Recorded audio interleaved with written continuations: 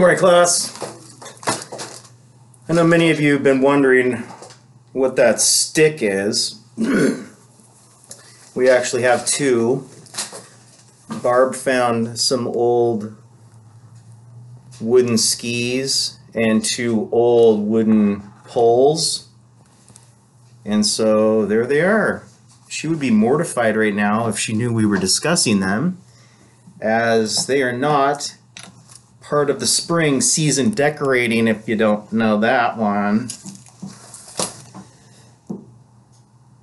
Chapter 13, people. Frankenstein by Mary Shelley. I hope you're enjoying that Benedict Cumberbatch. There's only two more days on that one, guys, for and then it's going to be a rental. So it's free right now. Um, so kind of get on that one for Friday's assignment. Monday's chapters one through third, one through eleven summaries and workouts and stuff. Um, I'm seeing a lot more quotes being used. So pink highlighter. I'm seeing a lot more analysis of what you think, not just what Tigan thinks. That's good. Kyle had a brilliant one today when I think chapter 9 or 10 they discussed Victor's God complex and Kyle mentioned that he thinks the monster is kind of like Satan. So another God thing, only in opposite. That he was supposed to be this awesome thing and have this great life and, and be able to contribute things, but instead he fell from grace. Just like Lucifer. Guys, there's too many people to shout out at this point, besides, you know, Kyle Satan comparison. Um, everyone that's texted, thank you. I'm sure this is me shouting you out. Texted, you've emailed, um, you've called. You're doing great jobs. Thank you. Keep it up. I'm loving it. Okay, he's with the family in his little hovel. He calls it. It's like a garden shed that they they don't keep anything or never go out there, so he can kind of spy on them. He feels like he's part of the family. He does chores at night, gathers wood, splits it.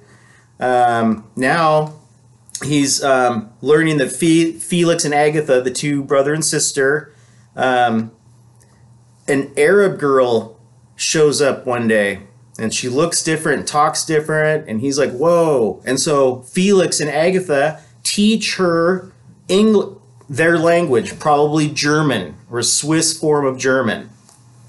A little bit of French. You would have known all of those languages around there. Italian, they would have known that. So whatever they're speaking, ostensibly German, is what they're teaching this new girl who shows up. And Felix is whoa. I think he's in love with her, like right away. But we don't know why she's there. Um, so as they're teaching her, the monster is listening and learning.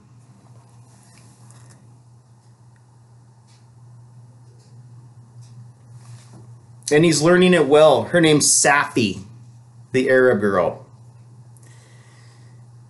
Um, and she's a great singer too. In fact, she's such a great singer that on page 103, she sings so beautifully that they at once drew tears of sorrow and delight from my eyes. She sings like a nightingale. Again, she makes up the sings like a nightingale trope that we all use.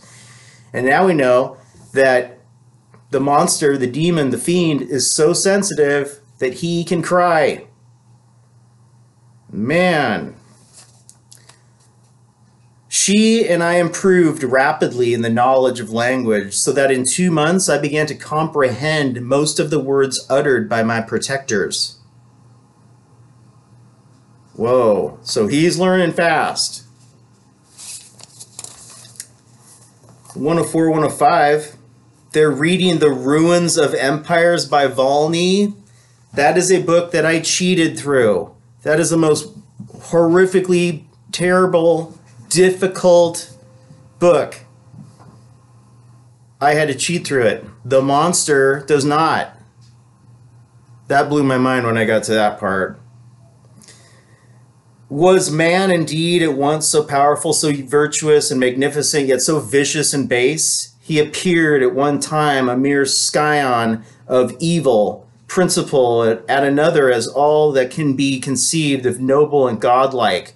To be a great and virtuous man appeared the highest honor that can befall a sensitive being. To be base, bad, and vicious, as many on record have been, appeared the lowest degradation, a condition more abject than that of blind mole or harmless worm. For a long time, I could not conceive how one man could go forth to murder his fellow, or even why there were laws of governments. But when I heard details of vice, uh, sin, bad stuff, drinking too much, drugs, and bloodshed, my wonders ceased, and I turned away with disgust and loathing. He's figuring out that people aren't good. He hasn't done anything bad yet. He's like, there has to be laws against people being bad? Why would you be bad? I really thought that was interesting. What about this one? You're supposed to be rich. Remember, this whole thing is about inequality and being treated wrong. Mary Shelley, she couldn't own a home. She couldn't have a bank account. She couldn't pick a man out to marry. She couldn't decide when and how long she would just to be she would be educated. She couldn't decide when she was going to have a child or how many she would have. She could women could not own homes. They could not own property. They didn't vote. So, from the lens of a woman using a monster, we are getting this massive inequality just being beat into our head. And it's still happening today in a lot of ways for a lot of people, and it's not right. So, he learned that humans justified their means by being rich. The to get rich. The ends justify the means. Machiavelli's The Prince by the way, this is Johnny Carson today. Forgot to mention that one. Frederick Douglass could not make it. I love how Maddie H always does the, and so does Michaela, always, always, always does the extra credit. I'm Johnny Carson. Now, for this extra credit, not just three facts, but I want you to watch him on YouTube. Just a couple clips of the Johnny Carson Tonight Show.